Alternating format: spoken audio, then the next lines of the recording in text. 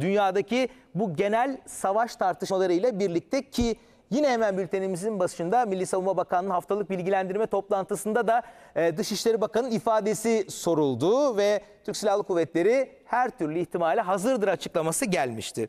E, Doktor Kemal Olçar bizlerle birlikte. Hocam hoş geldiniz yayınımıza. Hocam çok sık telaffuz ediliyor. Nükleer silahlar, e, silahlarla ilgili artış ve geldiğimiz noktada bir savaş. Hatta 3. Dünya Savaşı ifadeleri de Evet. kullanılıyor. Dışişleri Bakanı Hakan Fidan da çok uzak olmadığını söylemişti. E, Orban'ın bir ifadesi vardı. Kasım'da Kasım'a kadar hayatta kalmalıyız ifadesi. Vučić'in ifadesi var. 3-4 ay içinde bir dünya savaşı çıkacağına yönelik.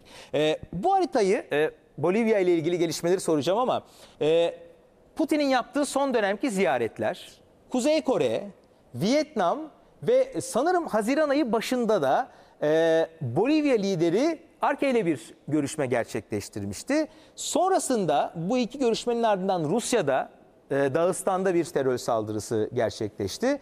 Ardından da bir Bolivya'da e, darbe girişimi. Bunun ardında e, küresel güçlerin e, bir oyunu var mı? Amerika Birleşik Devletleri olduğuna yönelik çok güçlü e, emareler var. Çünkü darbeyi gerçekleştiren generalin e, Amerika ile ilişkisi konuşuluyor. Ne diyorsunuz? Üçüncü Dünya Savaşı öncesi saflar mı netleşiyor? E, en son soracağım ilk sorayım. Bir savaş beklentiniz var mı? Şöyle e, direkt girelim isterseniz Saktan Bey. Bir kere kartlar yeniden dağıtılıyor. Bu kartlar şu anda mevcut elimizdeki kartlar içerisinde ulusüstü yapılar var, küresel aktörler var, çok uluslu şirketler var, bir de sivil toplum örgütleri var. Şimdi bu devlet dışı aktörler çok etkin olmaya başladı. Bu şunu kaybettirdi ülkelere. Bir ideolojik kayıp var ortada ve devlet mekanizmasının bir güç kaybı var. Dolayısıyla politika yapım süreçlerinde buna savaş kararları da dahil olmak üzere sanki devlet mekanizmasının dışındaki aktörlerin de işin içine girdiğini görüyoruz. Kartlar dağıtıldığında ne çıkacak piyasaya? Şu çıkacak. Ulus devletler biraz daha güçlenmeye çalışıyor. İkincisi devlet mekanizması politika yapım süreçlerinde belki bu devlet dışı aktörleri dışarıda bırakmaya çalışacak. Bu tablo içerisinde şimdi bakınız Sovyetler Birliği'nden sonra kurulan Rusya Federasyonu bir e, ağır travma geçiriyor. O travmayı Putin'le atlatmaya çalışıyor. Travmanın kaynağı şu. Bir toprak kaybı, iki ideolojik kayıp. Sosyalist model ve komünist model diyelim. Bu iki model artık dünyada ikinci, üçüncü sıralarda. Rusya Federasyonu ideolojik kaybını yeniden elde etmek için bazı ülkelerle yeniden temas kuruyor gücü elde ettikten sonra. Kaybettiği toprakları yeniden kontrol altına almaya çalışıyor. Topraktan kastettiğim Doğu Avrupa, Balkanlar ve bir miktarda İskandinav ülkeleri. Kafkaslar zaten biliyorsunuz kontrol etmeye çalıştığı bir nokta.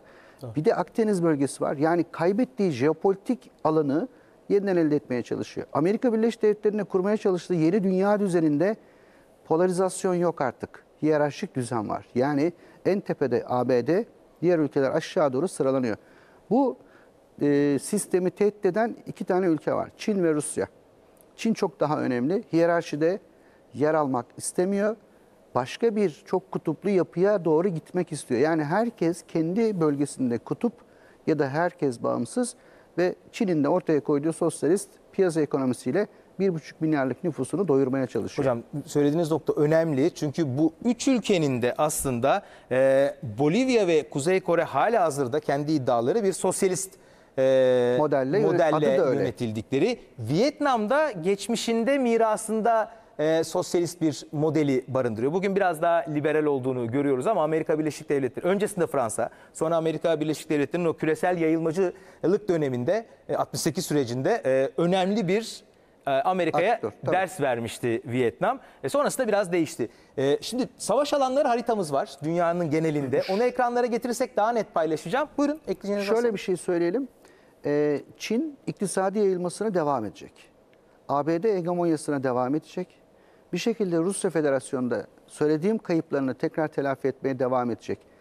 Bu grand stratejiler, büyük stratejiler şu anda dünyanın en çok gerildiği anı işaret ediyor.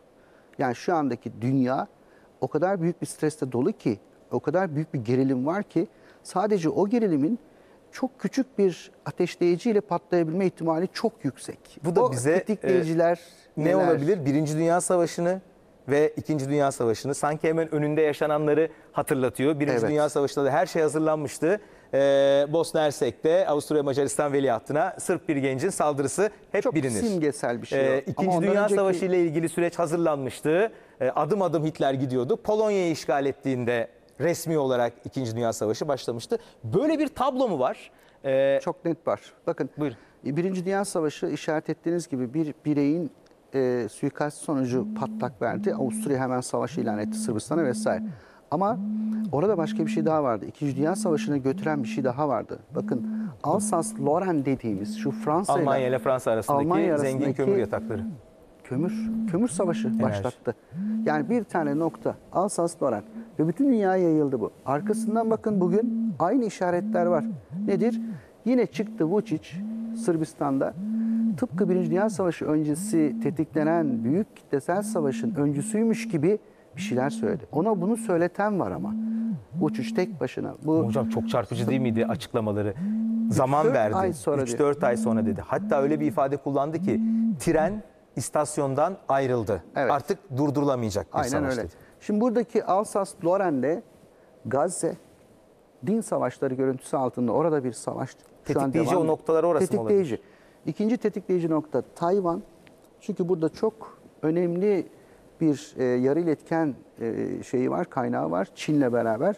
Artı burada milliyetçilik akımı çok yüksek. Çin'de sosyalist akım yüksek. Burada bir ideolojik savaş beklentisi.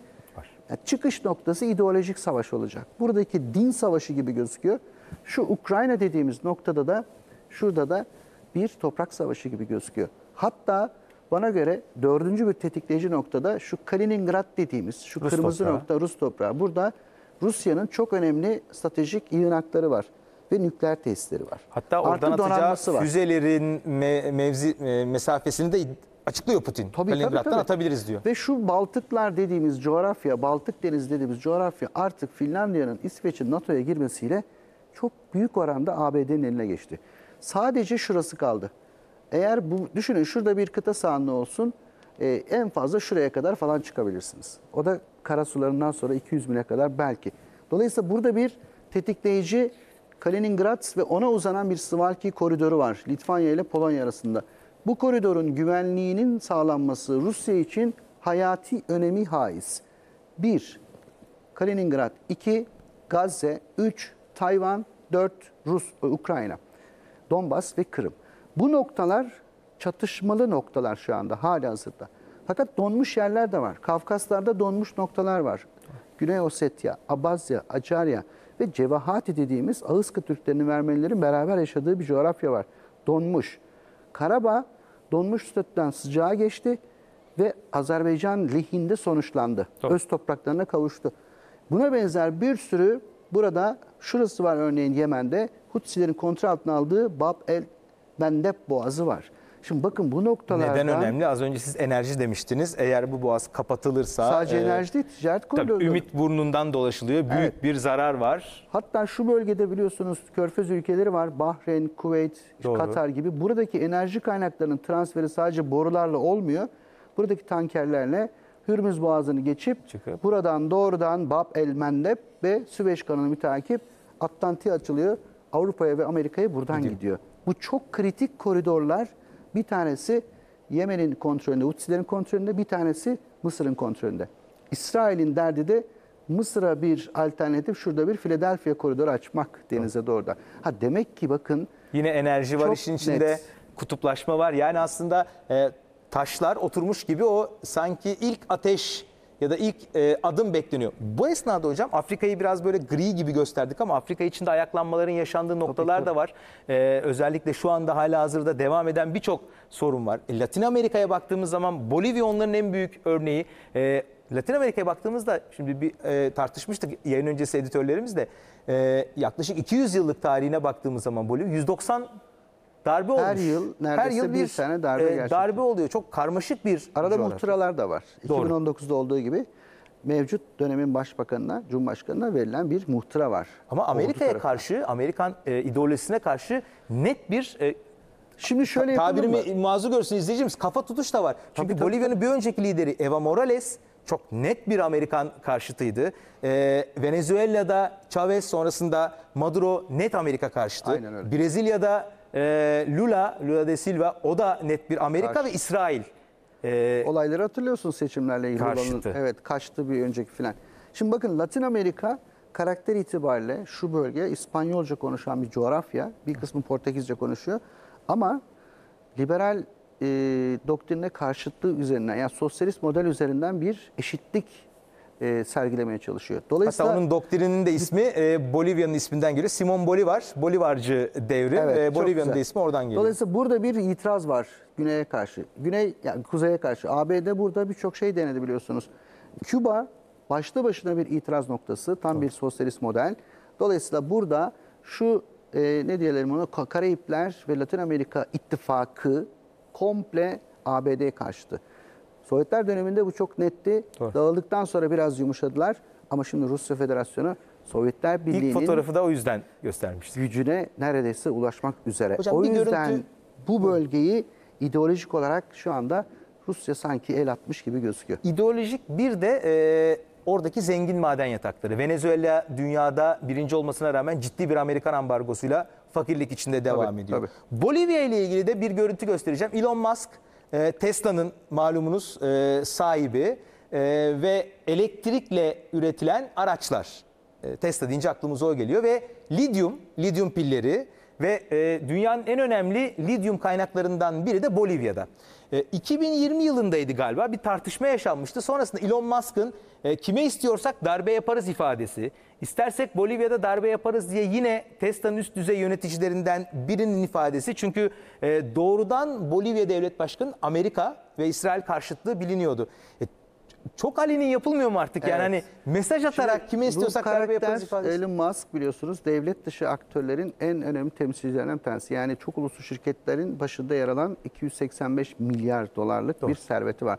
Yani Latin Amerika'yı toplayın hemen hemen yakın Afrika'yı toplayın tüm Afrika ülkelerine yakın bir gayri safi milli hasılası olan devlet gibi bir şahıs.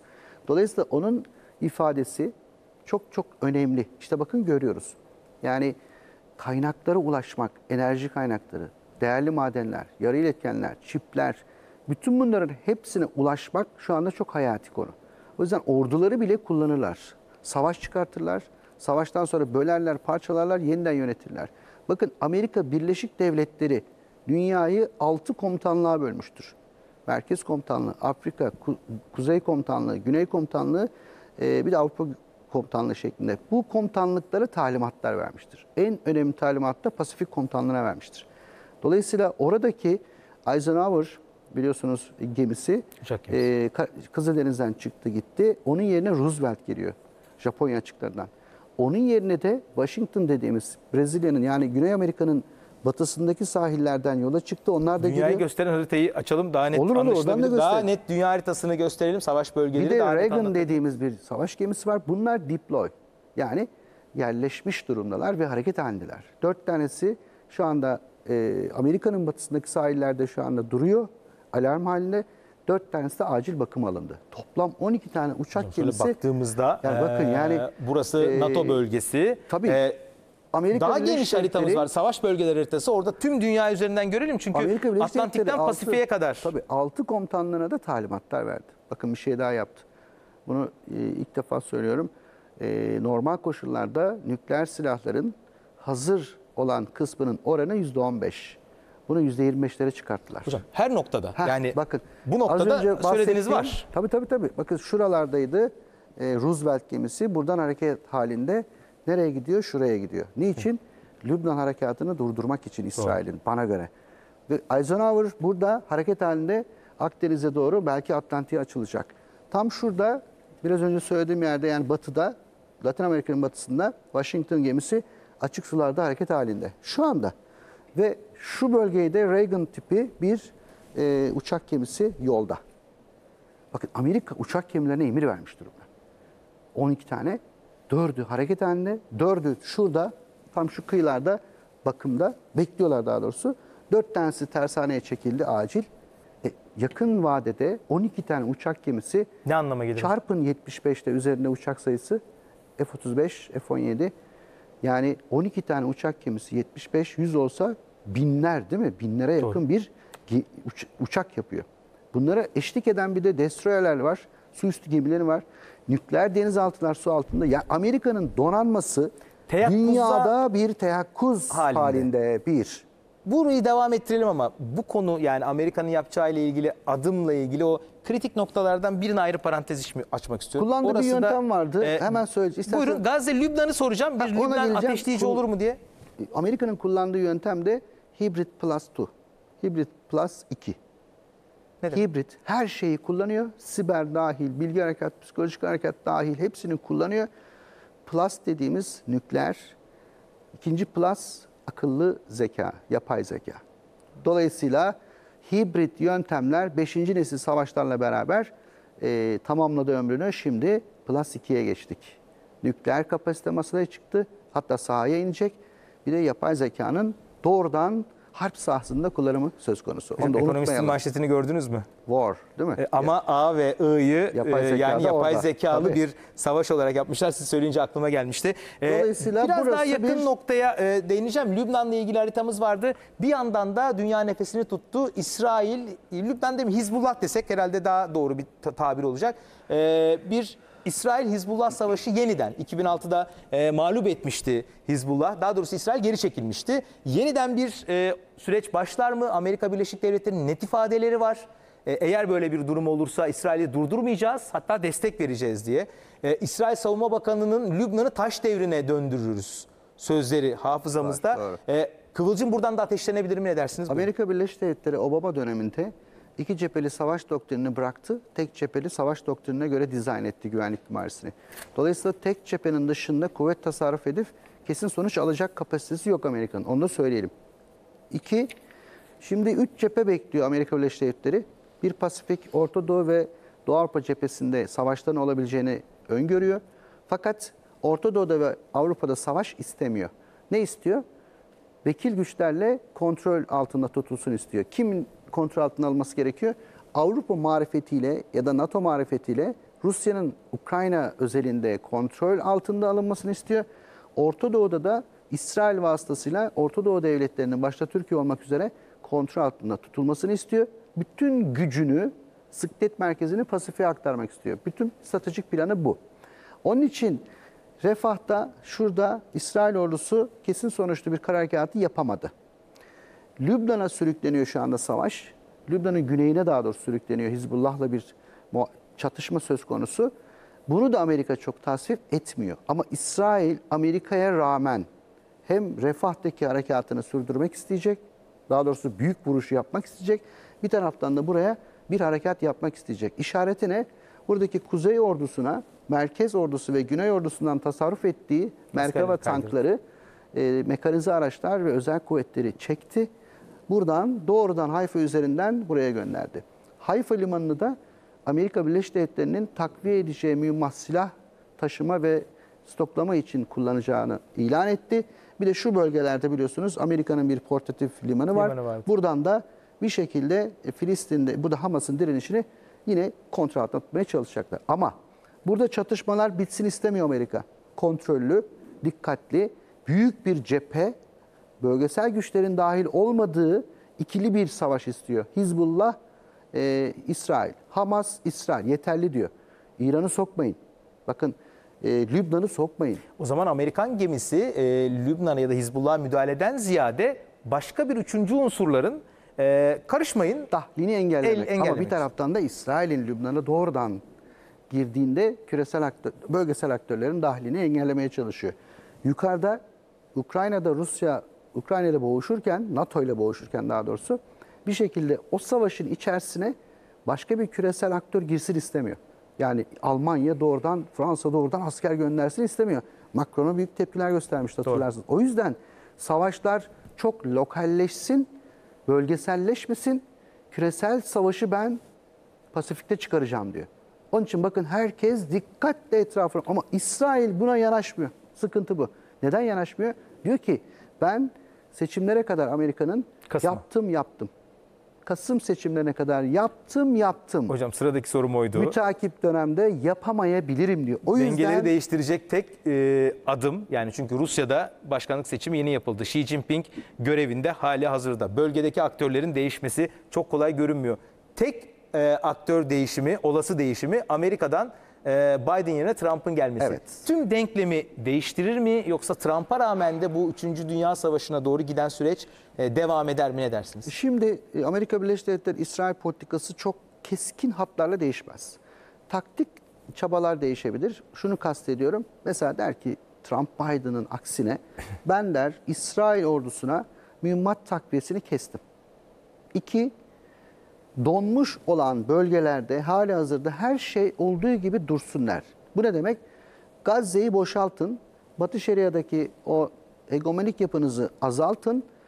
Kudüs'e karışmaz çünkü o onun döneminde ilan edildi biliyorsunuz. Golan'a karışmaz. Dolayısıyla 67 öncesine benzer bir tabloda dondurabilir. Bunun yapılmasının tek yolu İsrail'e harp silah araç gereçlerinin ya da finans desteğinin kesilmesi. Bunu yapabilir. Bunu bekliyor Netanyahu. Eğer böyle bir şeyle karşı karşıya kalırsa İsrail ordusunun ve ekonomisinin uzun süreçli savaşı devam ettirme yeteneği yok. Net yok. İki aydan fazla savaşamaz İsrail ordusu normal koşullarda. Amerika takviye etmese bugüne kadar gelmezdi bu işgaller, soykırımlar. O yüzden baş suçlu Amerikalı diyoruz ya. Amerika diyoruz ya. Ha demek ki burada Lübnan Savaşı seçimlere kadar yapılırsa yapılır. Yapılmazsa bir daha artık Güney Lübnan'a, Gazze'ye, Batı Şeria'ya ya da Doğu Kudüs'e ya da Golan'a çok büyük bir hakimiyet sağlayabileceğini düşünmüyorum Peki açıkçası. Trump Pasifik'te bir çünkü şöyle bir ifadesi vardı. Trump Süremde şöyle doldu yapacak. ama e, şöyle bir ifadesi vardı. Ben olsaydım iktidarda Ukrayna Savaşı olmazdı. Ben olsaydım iktidarda e, Gazze Savaşı olmazdı diye. Olmazdı E, çünkü Ukrayna'ya olduğu gibi Rusya'ya verirdi o. Savaşı olmazdı dolayısıyla. E Tayvan'da da Pasi- elini çekerdi. Trump e, olursa bir savaş beklentisi azalır ama Biden iktidarı ya da yönetimi devam ederse sizin beklentiniz bir e, savaşa dönüşmesi ihtimalini görüyor musunuz? Yoksa bunlar karşılıklı blöf mü? E, son bir dakikam var. E, Yani e, Biden yönetimi tekrar seçilirse çok büyük ihtimalle Çin Tayvan'a doğrudan müdahale edecek. Bunun üzerine Amerika Birleşik Devletleri bir koalisyon kurup o bölgede Çin'i durdurmaya çalışacak. Bu şu demektir. Savaşın seyri, merkezi Pasifik'e kayacak demektir. Onunla ilgili çalışmalar devam ediyor şu anda. Ama 3. Dünya Savaşı'nın zaten ayak sesleri ve bazı taktik seviyede savaşları devam ediyor. Son vuruş yapılacak mı? Soru bu olmalıydı. Peki. Son vuruş dediğimizde Nükleer. plus nükleer. E, çünkü nükleerden bir geri dönüş yok. zor. E, ve son bir e, açıklamayla bitireyim. 2023 yılı silahlanma rakamlarında çok uzun yıllardan sonra nükleer silah yatırımın çok net bir şekilde arttığını görüyoruz. Türkiye ile 2023 ilgili bir cümle kurmama Buyurun, müsaade buyurun, edin. buyurun. Türkiye Cumhuriyeti Devleti bu oluşan eksenlerde yine aktif dengeleme rolüne devam etmesi gerekiyor ki şu anda onu yapıyor. Aktif de- dengeleme demek kendi savunma gücünü arttırmak suretiyle etraftaki güç dengesini sağlamak demektir. Çok doğru bir strateji uyguluyor. Onunla antiparantez söyleyelim. Peki